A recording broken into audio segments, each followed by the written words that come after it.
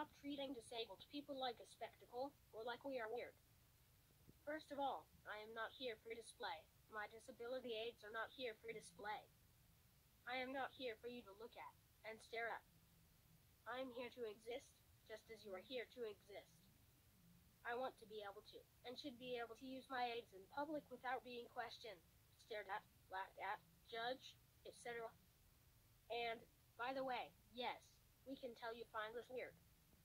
I can see where me my way of communicating weirds you out or makes you uncomfortable.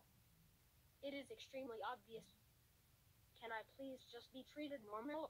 Can my communication please just be treated normal? And you know what really pisses me, me off? The occupational therapists at my school are less understanding of my AAC than one of the most ignorant kids in my grade.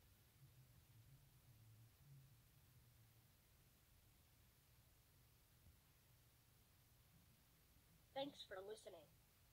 I make videos whenever I get the chance about disability, queerness, and AAC.